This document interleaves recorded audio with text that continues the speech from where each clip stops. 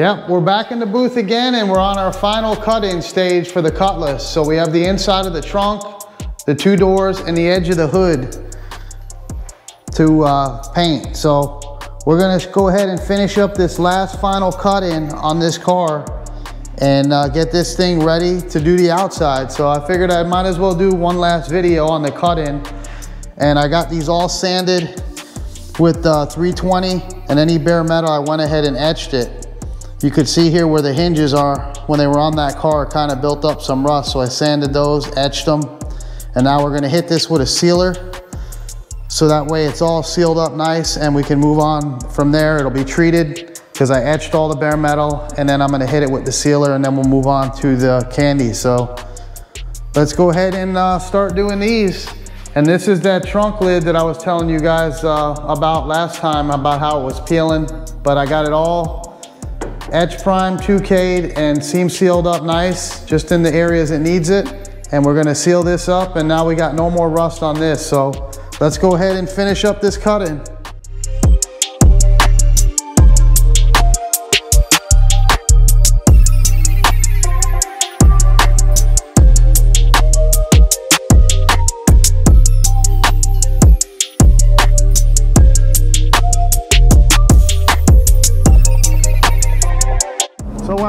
Prep sawed it. And now I got a wet, damp rag with water and I'm just going over it with a microfiber to uh, wipe off a little bit of the leftover residual and this here grounds it out. Whenever you use water, it'll ground out the panel and stop a lot of static. So I learned this trick when I first started painting about 20 something years ago one of my first uh, shops I worked at, the painter was really good and he used to always wipe everything with a damp rag and it would knock out some of the uh, static and definitely get a cleaner job. So I still do that and now I use the microfiber ever since I learned about that one. So it makes it even better with the microfiber towel.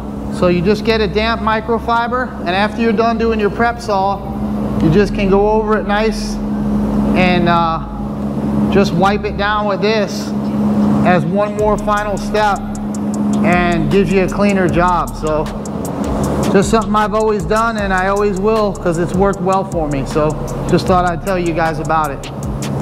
But when you're doing these candies, and the reason why I'm painting this little edge is because what really separates a real nice candy job is all the edges and the jambs. So you want to make sure you get all the candy all around this first. That way when you go to do the outside, you can mask it up and try to keep it clean so that way your jambs all look nice because you know that silver or the uh, charcoal has to go down and then the candy. So we got to spray all the little edges because when you're doing a candy job, you're not going to try to spray edges when you're doing the outside because then you're going to have dark edges on it. So we're doing as much as we can to ensure a nice job. And we may even have to go in at the end and do a little touch up to get those jambs looking the way I want them to look. So let's finish up wiping it and we'll be sealing it. And now you want to tack it. So let's tack them off and go right into our sealer.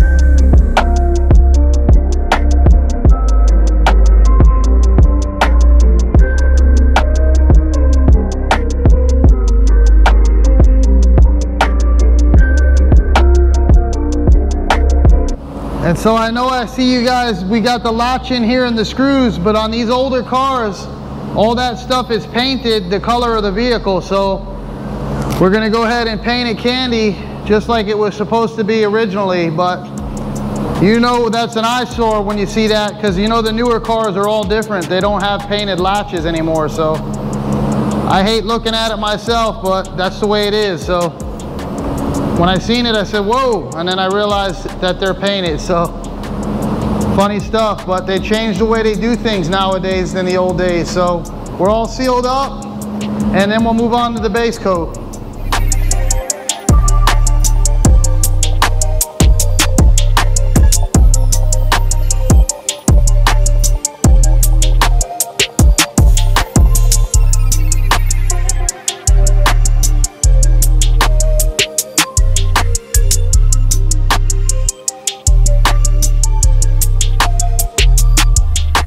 So we got two coats of the base. I'm gonna put one more on it and then we'll be moving on to the candy.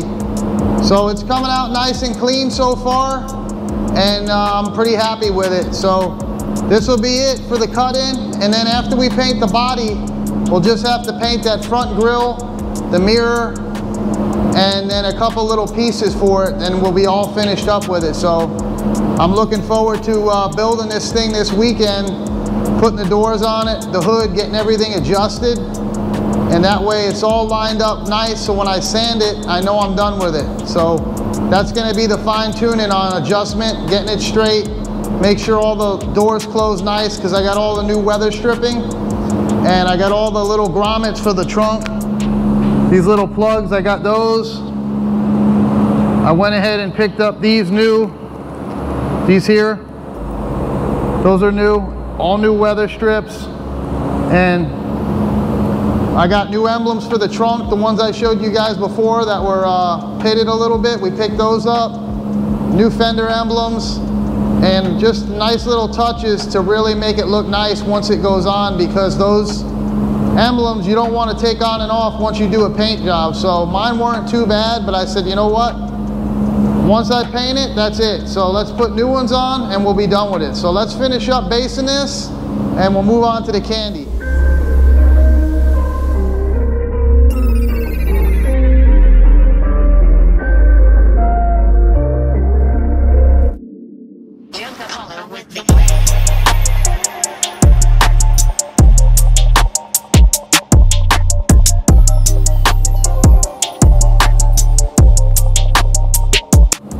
So we're all based out. We got the three coats of the base on, and now we're going right into the candy with the DV1 with the C1 cap. So let's go ahead and put our first coat of candy on it.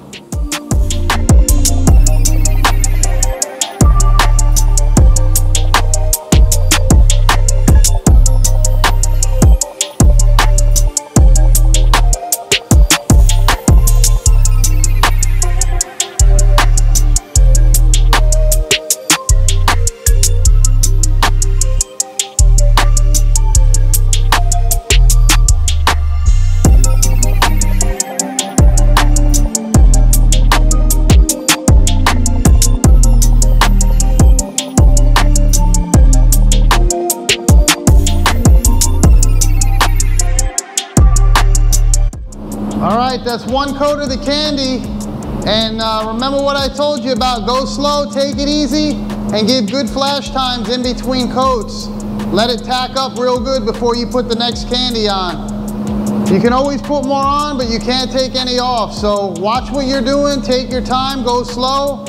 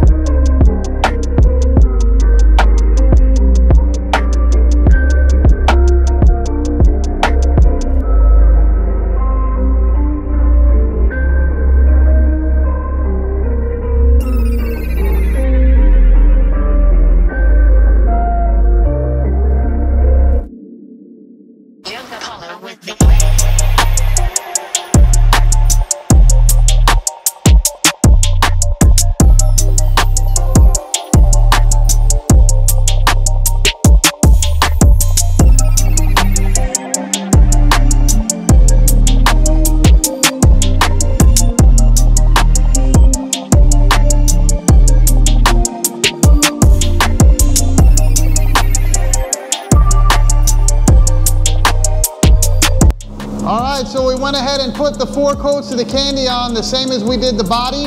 That way everything matches and everything looks consistent when you open the doors and the trunk up. So we're gonna let this set up, give it about 20 minutes and then clear it. But it came out really nice as you guys can see. And that color again is beautiful. So let's let it set up and come back in and clear it.